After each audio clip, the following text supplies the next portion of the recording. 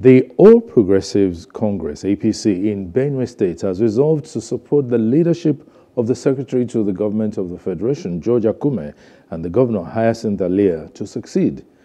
These were some of the decisions taken at an enlarged stakeholders meeting in Makurdi to reconcile the differences among members in order to move the party and the state forward. Our correspondent Francis Ter filed in this report as presented from our studios. A chieftain of the All Progressives Congress in Benue, Abba Moro, stresses the need for the governor to look out for those who are competent and reliable for his cabinet. The state chairman of the All Progressives Congress, Austin Agada, appealed to members of the party to let go of their differences and support the APC government to succeed. Speaking on behalf of the youths, Cephas Tintide urges the governor to empower the young people in the state and ensure he gives them 50% representation in his cabinet. Should be very, very careful of the food is ready. The government should also be very careful if food is ready is coming. Because they are coming to do what? To cause trouble. That's the time you see them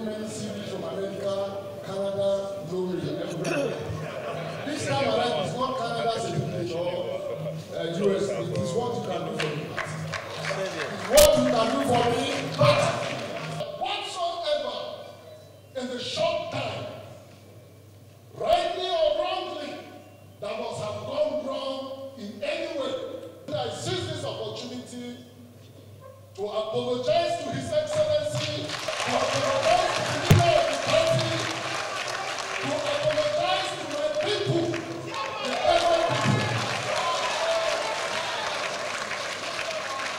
to forgive us as a party that should fill in the gap.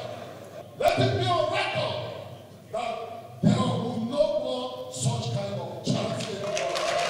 The youths are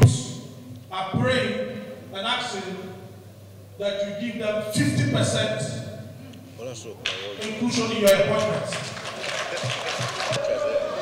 Excellency, I want you to look deeply into the problems of the youth.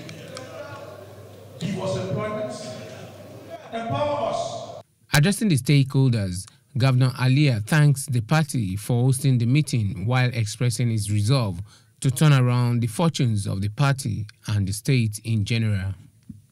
Why I remain very indebted to all of you for the hard work you continue to do. Remember, when you enlighten the people out there, they know where we are best. As it is your regime, as it is your government, so it is in your court and hands to destroy it. It's my hope that we build it and we continue to renew the hope.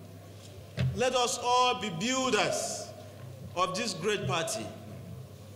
It is for you to ensure that we deliver to our suffering people, and that remains my hope. Several party chieftains, leaders, senators, former minister, and members of national and state assemblies were in attendance. Hello, hope you enjoyed the news. Please do subscribe to our YouTube channel and don't forget to hit the notification button so you get notified about fresh news updates.